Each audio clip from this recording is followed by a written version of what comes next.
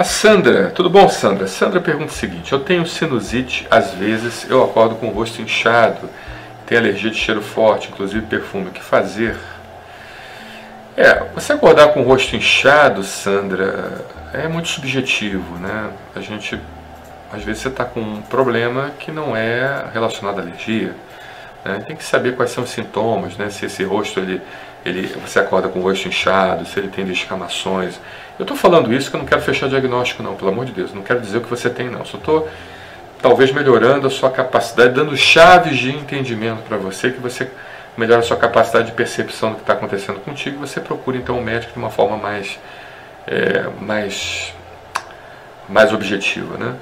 Então, assim, você tem que ver se esse inchaço vem com descamação, se, essa, se você é, se esse inchaço ele causa coceira, se é um inchaço com vermelhidão, se é um inchaço é, que incha também os lábios, que outras partes do corpo incham, como a região genital, se você eventualmente tem fechamento de glote com esse inchaço, se não tem, entendeu? Se você sente falta de ar no momento que você tem um inchaço, né?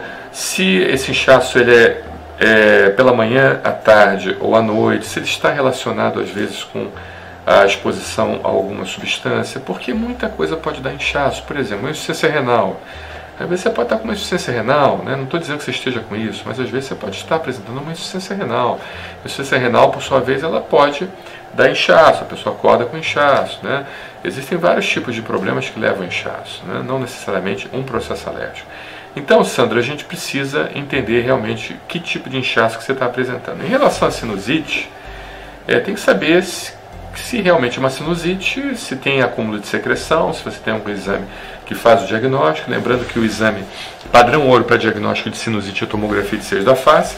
Se você tiver uma tomografia de, tomografia de seios da face, melhor ainda, vai facilitar muito o trabalho do médico. Né?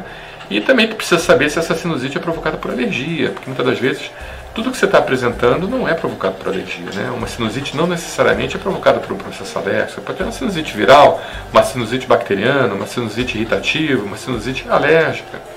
Ou seja, uma sinusite que é provocada por vários tipos de problemas, inclusive até por refluxo gastroesofágico, né, que causa rinite, sinusite, asma e bronquite. Né?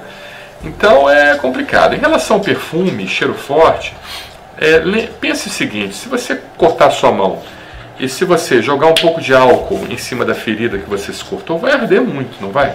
Agora, se você pegar a sua mão que não tem uma ferida jogar álcool, não vai arder. Ou seja, vai só ficar fresquinho, mas não arde. Então, o que pode estar acontecendo com você, muitas das vezes, é o perfume que você entra em contato. E é uma substância química, já numa mucosa inflamada e causa irritação. Provavelmente você tratando a doença de base, você vai ser mais tolerante ao perfume, porque a sua mucosa não vai ficar inflamada e não vai causar tanta irritação. Entendeu, Sandro? Então fizemos aqui um apanhado de informações para abrir sua mente, esclarecer e orientamos aqui a telemedicina 21 99374 2042. Manda uma mensagem de texto, eu preciso de uma consulta médica. No dia seguinte o médico entra em contato com você. Nesse período, até o médico entrar em contato, eu oriento fortemente que você visite a nossa playlist sobre controle ambiental. Tem muitas informações sobre o controle de ambiente que você deve fazer na sua casa, retirada de tapete, cortina, carpete, edredom, bicho de pelúcia, ou seja, tudo aquilo que acumula poeira dentro da sua casa. Tem uma reportagem da Ana Maria Braga sobre controle ambiental que foi, foi feita conosco. Aproveite! Playlist sobre controle ambiental no site do YouTube do Brasil Sem Alergia. Tá bom? Um abraço, Sandra. Muito obrigado pela sua pergunta.